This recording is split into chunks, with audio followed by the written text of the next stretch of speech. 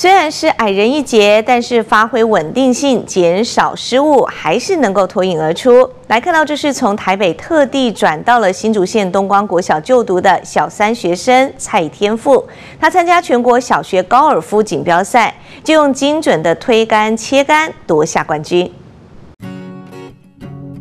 临近四个专业高尔夫球场，吸引学生跨县市就读的关西镇东光国小，从台北转学过来的三年级蔡天赋，就在全国小学高尔夫赛中夺冠。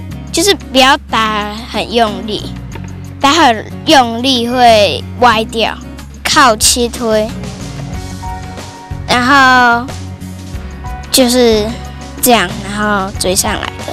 就是我觉得他适合打高尔夫球，也有兴趣。然后我们其实是从台北搬到关西来的。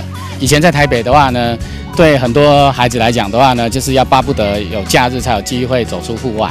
那在这边就是天天都是户外。六月才在低年级组夺冠，九月角逐中年级组在连庄。蔡天赋四岁就抱有兴趣，六岁开始栽培，连连夺牌崭露头角。虽然身高跟其他选手差了一颗头，一开始全挥杆落后。仍用稳定性弥补，减少推杆切杆的失败率，成为少数拿下冠军的三年级生。校方也推广高尔夫球课程，创立校队，改善场地，在地的一个子弟在这部分能够了解在地的一个体育。那为了配合就是高尔夫球的一个推动。那目前东方国小进行了一个呃小型国岭的一个建设。